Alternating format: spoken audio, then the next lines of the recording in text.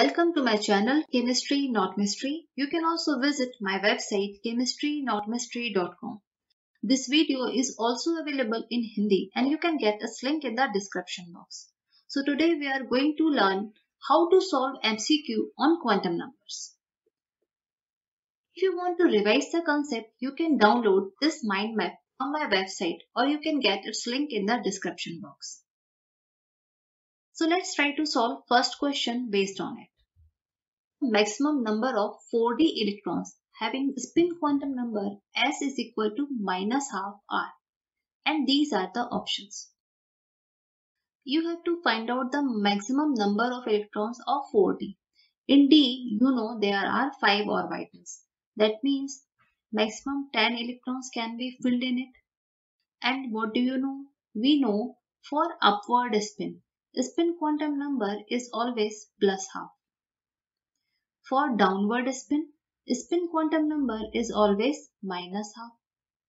So when you fill electrons in 4d, so you have to fill electrons according to Hund's rule.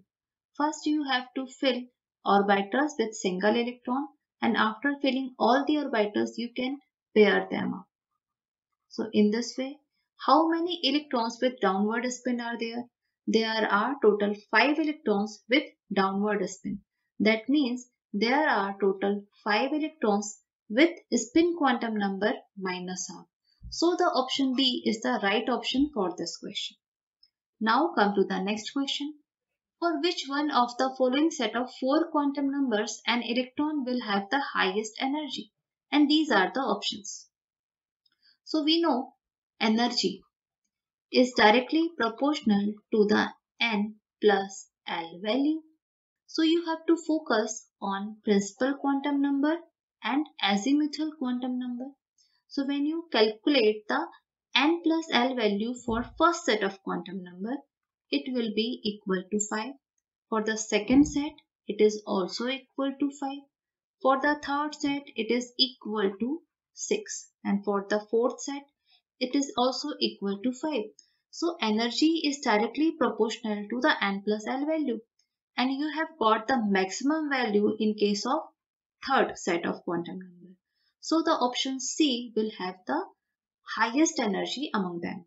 So the option C is the right option for this question. Now come to the next question. Which of the following is not permissible arrangement of electrons in an atom? And these are the options. So you have to find out the not permissible arrangement among them.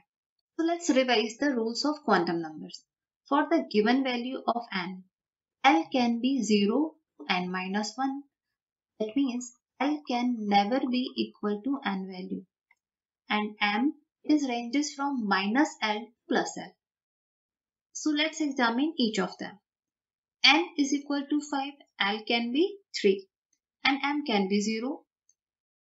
For the next option, n is equal to 3, L can be 2 but M cannot be equal to minus 3. For the L is equal to 2, M should be minus 2 to plus 2 but it can't be minus 3. So the option B is not possible among them. Now come to the next question. Principal, magnetic and azimuthal quantum numbers are respectively related to. And these are the options. Principal quantum number, it is denoted by small n. Magnetic quantum number, small m. And azimuthal quantum number is denoted by small l. Principal quantum number defines the orbit or you can say it tells you about the size of the atom. Azimuthal quantum number is for the subshell. It tells you about the shape of the subshell, whether it is a spherical, dumbbell or double dumbbell. And magnetic quantum number tells you about the orbitals or precisely it tells you about the orientation of the orbital, whether it is px, py or pz and so on.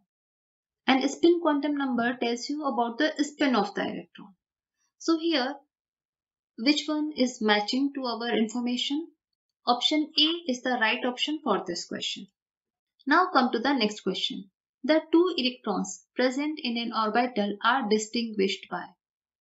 For this, you can take the example of helium. its electronic configuration is 1s2. So both the electrons are present in the same orbit. So when you write the quantum number of both electrons, n is equal to 1 for the first electron and it is also 1 for the second electron and L for the first electron is 0 because it belongs to S subshell. For S, the value of L is 0.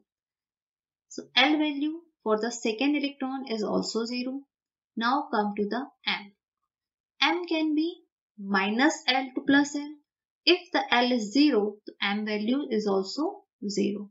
For the second electron, M value is also 0. Now come to the S, spin quantum number.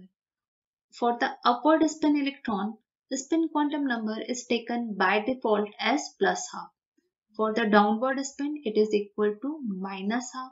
So when you compare these quantum numbers, you can easily find out that if the electron belong to the same orbital, it can have three quantum numbers same, but the spin quantum number cannot be same. So the option D will be the right option for this question. Now come to the next question. With the increasing principal quantum number, the energy difference between adjacent energy levels in hydrogen atom. And these are the options. If you recall the hydrogen spectrum, you know, in hydrogen spectrum, you will get different spectral lines. Lyman, Balmer, Paschen, Brackett and Pfund. And their respective region is UV, visible, IR. So when you go away from the nucleus. For n is equal to 1, when you find out the difference, Lyman series is obtained when electron jump from second level to first level. So here we are getting difference between second to first level. For Balmer, the difference you got for 3 to 2 level. For Paschen, 4 to 3 level. For Brackett, 5 to 4 level. And for Pfund, 6 to 5 level. So on increasing the difference from the nucleus, the energy difference between the adjacent energy level decreases because when you move from Lyman to Balmer series, you can see from UV to IR, wavelength increases and wavelength is inversely proportional to the energy. That means energy decreases when you move away from the nucleus, the energy difference between the adjacent level decreases. So option A is the right option for this question. Now come to the next question. The following quantum numbers are possible for how many orbitals? n is equal to 3, l is equal to 2 and m is equal to plus 2. So here L is equal to 2. That means they are talking about D subshell. In D subshell, there are 5 orbitals. So the M value ranges from minus L to plus L. So for the first orbital, it will be minus 2, then minus 1, 0, plus 1 and plus 2. There is only one orbital with this set of quantum numbers. So the option A is the right option for this question. Now come to the next question. Maximum number of electrons in a subshell of an electron is determined by the following. And these are the options. And you know, total number of orbitals are always equal to 2l plus 1. And each orbital can be accommodated by maximum 2 electrons. So when you multiply this value by 2, you will get the number of electrons you will get 4L plus 2 number of electrons. So the option B is the right option for this question. Now come to the next question. Consider the following set of quantum numbers. Which of the following set of quantum number is not possible? So let's rewrite the rules of quantum numbers. For the n value of principal quantum number, L can be 0 to n minus 1 but it can never be equal to n. And m value n ranges from minus l to plus l. So here you have to find out the set of quantum number that is not possible. So let's examine each of them. For n is equal to 3, L can be 0 and M also can be 0. So this value is permissible. Now come to the next. N value is equal to 2 and L is also is equal to 2 but it is not possible because N and L can never be 0. So this set of quantum number is not possible. Now come to the next. N is equal to 4, L can be 3 and M also can be minus 2 because M ranges from minus L to plus L. So this is correct. Now come to the next. For N is equal to 1, L can be 0. But again here M cannot be minus 1. For the L is equal to 0, M can be 0 only. So this is the wrong set of quantum number. For n is equal to 3, L can be 2 and again M cannot be 3 because M value can ranges between minus L to plus L only. So this set of quantum number is also wrong. So find out the option in which 2, 4 and 5 is given. So in option C, 2, 4 and 5 are given as a not permissible option. So option C is the right option for this question. Now come to the next question. n is equal to 6, the correct sequence of filling of electrons will be. And these are the options. And we know energy is directly proportional to the n plus L value.